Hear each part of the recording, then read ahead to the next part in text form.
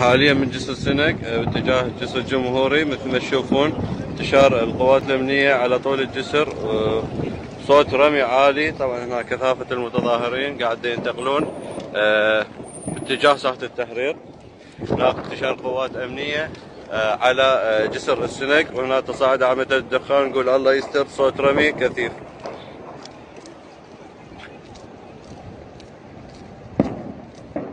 طبعا هاي امدادات من قوات مكافحة الشغب تتجه لساحة التحرير. الطرق لحد قبل شوية كانت ما مقطوعة بس هسه بدأت تتقطع الطرق من وإلى ساحة التحرير.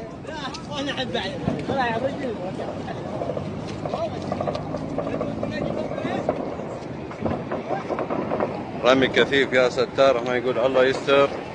إن شاء الله بردا وسلاما على إخواننا العراقيين المواطنين.